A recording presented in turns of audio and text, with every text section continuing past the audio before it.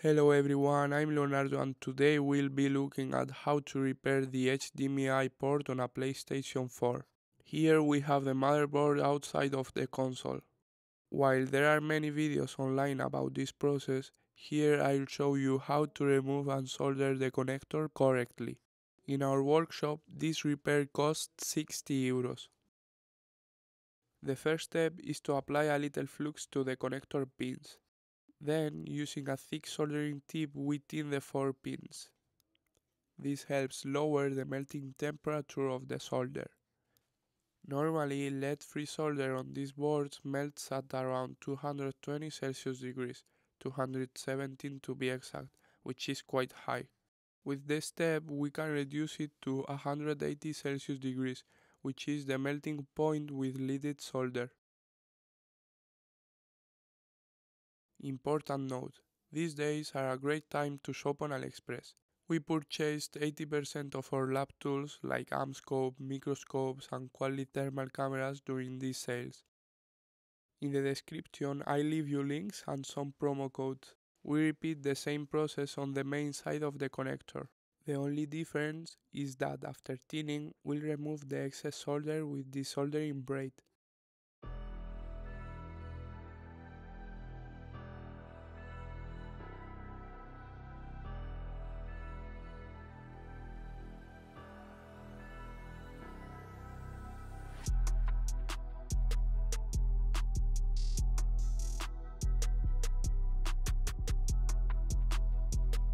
This step is helpful for people who don't have a high-end hot air station. If you have an inexpensive station, it might not maintain a consistent airflow. In this case, it's recommended to use low temperature paste solder, which melts at around 138 Celsius degrees, allowing you to work without issues regardless of your station's brand.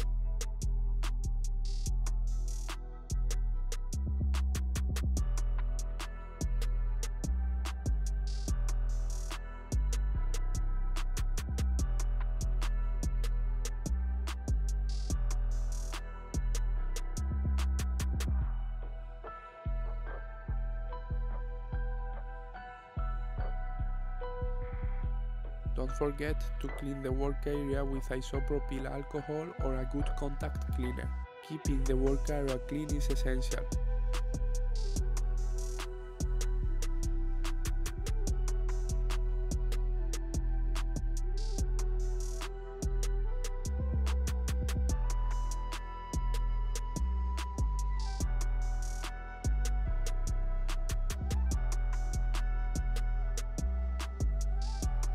Next we add more flux to the connector and tin the pads as well.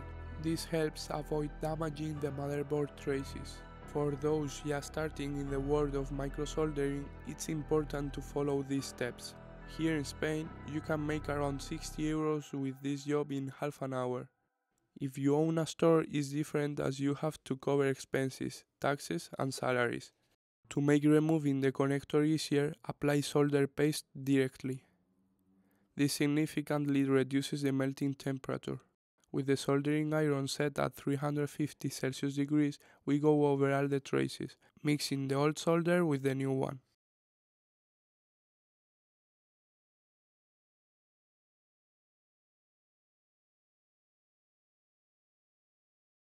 Now with the hot air station set to 400 Celsius degrees and 70% airflow, we apply heat directly to the connector. Here's an important trick.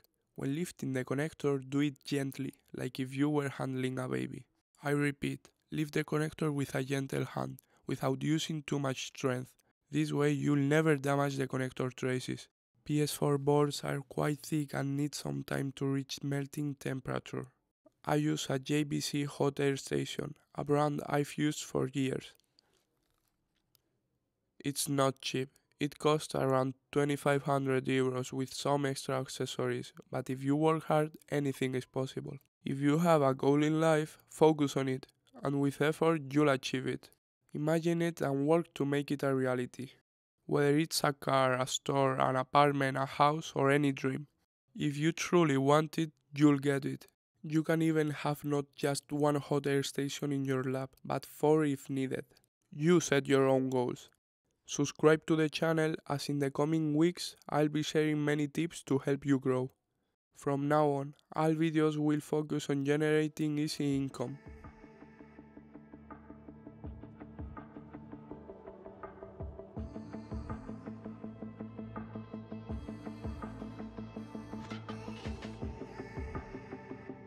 Let's continue with the video.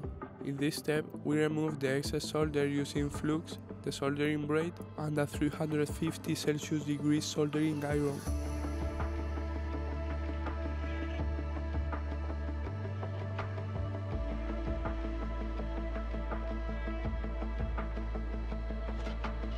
I've seen a lot of people online skip this step and try to remove the internal solder with just the tip of the soldering iron and braid.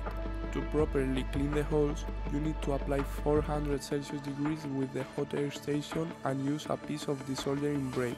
This way, the solder is easily removed once it's liquefied. This trick is also helpful in repairs for mobile phones.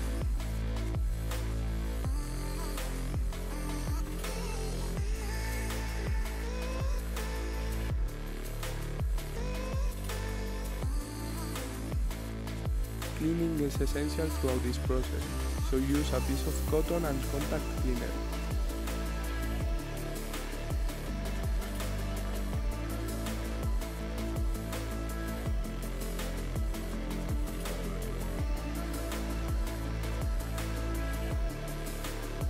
Now we place the new connector in position, making sure it fits well.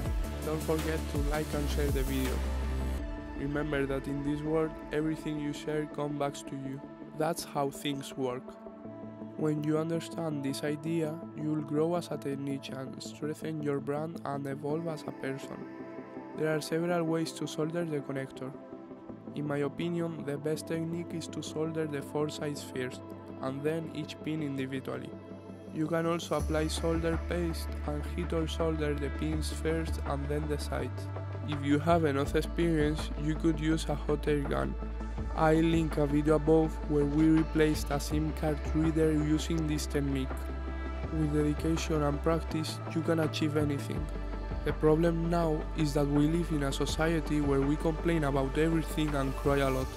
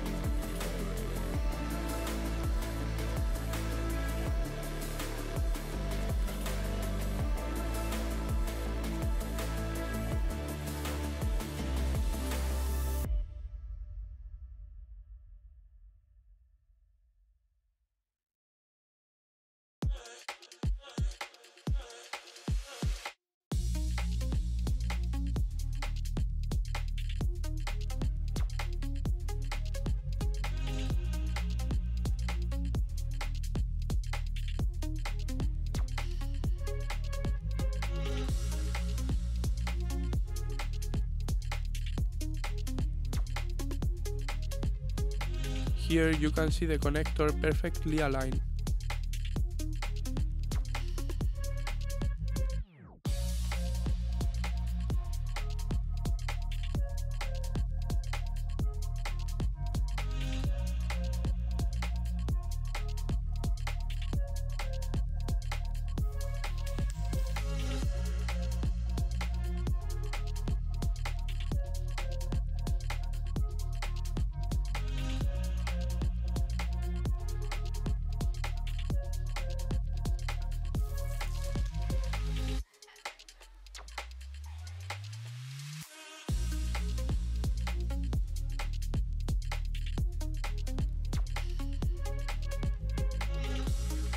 At this point, for a good solder, we apply flux and go over all the paths with a thick tip.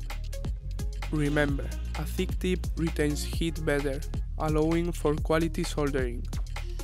Using a thin tip doesn't distribute heat well, affecting the final result, and you'll end up with a cold and poor quality solder.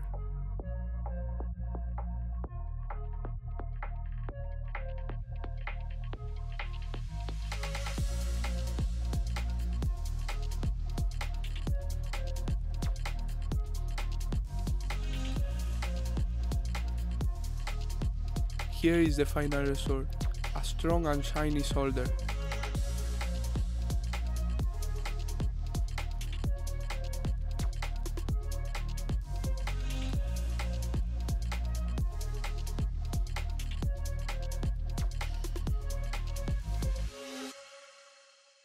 Let's zoom in with the microscope for a better view. That's it for today's video. I'm Leonardo. See you next time. Take care.